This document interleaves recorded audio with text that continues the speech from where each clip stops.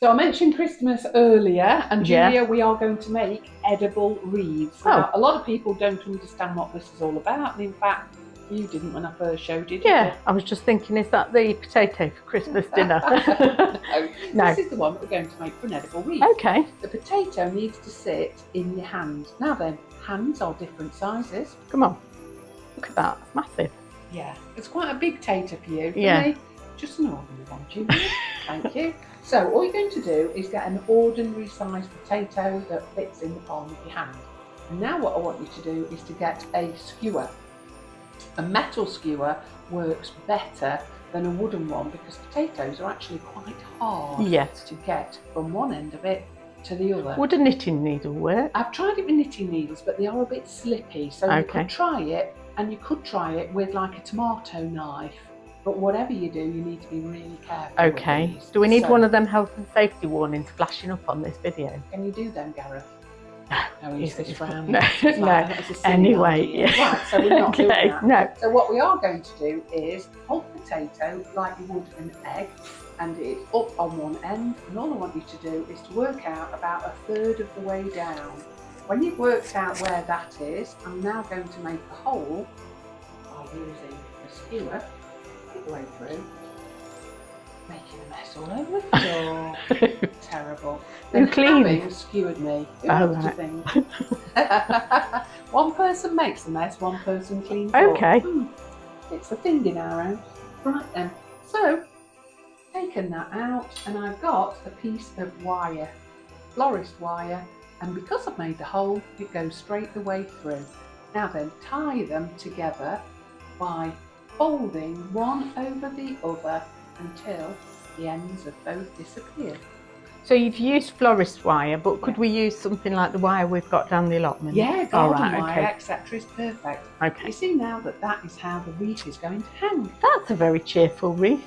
There's nothing on it, Julia. That's a potato. Right then. you see, it's going to be a long day. So, the first thing I'm Greet people with a potato. That's lovely, that is. Yeah.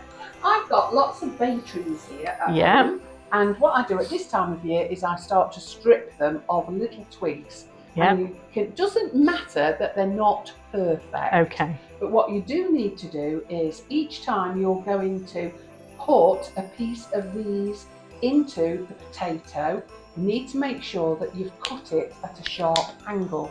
Secateurs are of that my moment. job? Yes. Oh, I like to uh, be useful. Thank you. Cut it at an angle. And now what I'm going to do is start one end and work my way round simply by pushing the bay twig into the potato. Work your way around the circle from one end to the other. I'll probably catch up with you, Julia.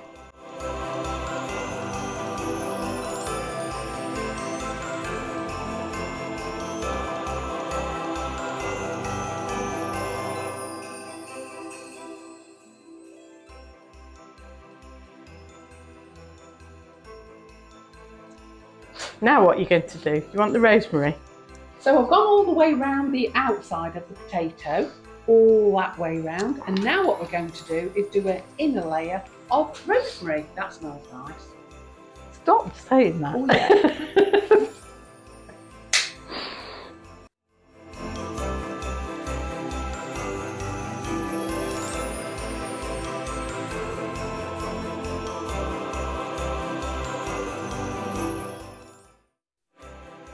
So what's happening is that the gaps are being filled in by Rosemary and she doesn't know. I mean, if we'd been professional, Elaine, we'd have planned this first, wouldn't we? We'd have had all this prepared and just stuck it all in. And so it's starting to fill up now, Julie. Aww. For all our antics.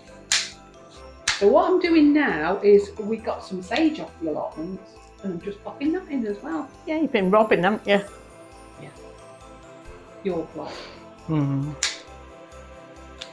I'll have to work that one out because you've not got any on yours. Right now. I think that's me. ah, that's very pretty. Thank you. Got Yeah. some oranges talking. Come on. Here's the one wired earlier. Oh, look at you. incredible. So I've got some dried. They're all dried because Yeah. I did them actually. Okay. And you've done loads, Yes, yes. of um, orange slices, and all I'm going to do now is wire them in. Oh, I too you, they don't want to get out.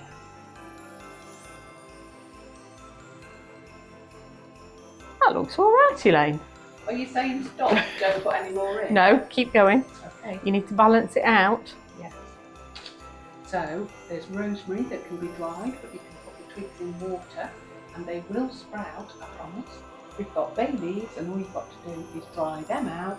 Orange slices, stick them in your gin, and then we've got sage if you needed it as an emergency. Christmas Day.